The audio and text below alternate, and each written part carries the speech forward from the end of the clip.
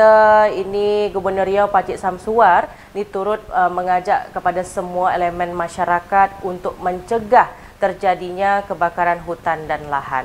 Macam mana kabarnya? Moh kita tengok.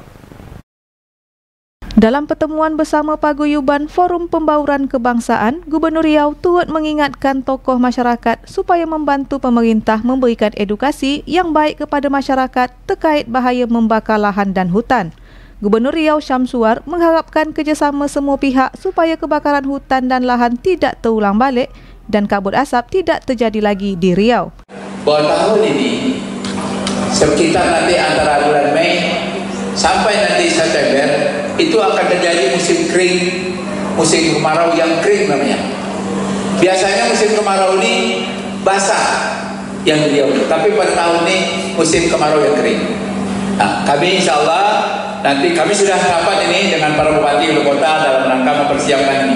Tapi kami mengharapkan dukung Bapak Ibu untuk membantu nih, mengabarkan kepada saudara-saudara kita yang ada di daerah agar tidak melakukan pembakaran. Ya, supaya nanti tadi kan Bapak kan bagaimana kita asap kemarin. Saya juga dilatih 20 hari dihajar oleh asap. Setiap hari demo di kantor gubernur.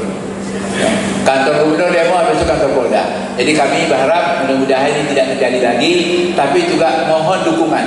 Selain memaksimalkan forum Forkopimda Provinsi dan Kabupaten Kota, dukungan tokoh masyarakat dan elemen masyarakat penting supaya kebakaran hutan dan lahan tidak berulang lagi.